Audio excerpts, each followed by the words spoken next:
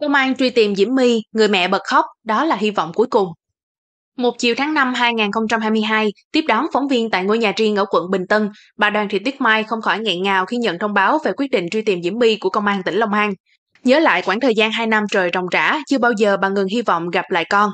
Kể lại đầu đuôi câu chuyện, bà Mai nói năm 2019, Diễm My tình cờ quen biết bà Cao Thị Cúc và một số người ngụ tại tỉnh thất Bồng Lai. Sau đó, những người này thường xuyên gọi điện cho Diễm My rủ về tỉnh thất Bồng Lai để học giáo lý 3 ngày trong tuần. Từ khi Diễm My kết giao với tỉnh thất Bồng Lai, người mẹ đã cảm nhận được nhiều sự bất thường. Con bé tin vào những điều viễn vông, bỏ cả chuyến du học mà chúng tôi đã chuẩn bị từ trước. My nói rằng tại đó có những chú tiểu hát hay, toàn người tài năng. Khi My tụ tập đắc đạo, sẽ dẫn mẹ theo, tôi không thể nhận ra con bé nữa, nó thay đổi hoàn toàn. Bà Mai lắc đầu ngao ngán. Diễm My không ít lần bỏ nhà để được đi tu tập và đỉnh điểm là vào tháng 6 năm 2020, bà Mai dẫn con gái đến một trường đại học để làm thủ tục.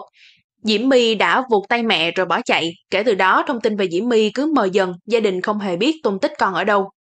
Nhắc chuyện gia đình, bà Mai cho biết vợ chồng có hai đứa con, Diễm My là chị, dưới có một em trai, cả nhà chung sống rất hạnh phúc. Kể từ khi My mất tích, em trai My suy sụp tinh thần, được cha mẹ động viên, em mới cố gắng thi đỗ đại học. Giờ đây, căn nhà khang trang ấy thiếu vắng bóng hình một thành viên. My là người con ngoan ngoãn, hiếu thảo, thế mà lần cuối cùng về nhà tôi thấy con khang khác. Nó cần tiền, thường xuyên xin tiền mẹ, Tôi có tạo cho con việc làm ở công ty gia đình và trả lương hàng tháng. Trước đó My chẳng bao giờ xin tiền mẹ vì chúng tôi đã lo cho con khá đầy đủ. Lúc My bỏ đi, con bé có khoảng 40 triệu đồng, bà Mai tâm sự. Một lần khi xem đoạn clip trên YouTube, bà thấy Diễm My nói về cha mẹ với nhiều lời lẽ chưa đúng và vô cùng bất ngờ và xót xa. Suốt thời gian qua, động lực duy nhất để tìm kiếm con là tình yêu thương vô bờ bến của người mẹ. Trên hành trình đó, có những lúc bà Mai thất vọng, buồn bã và bế tắc.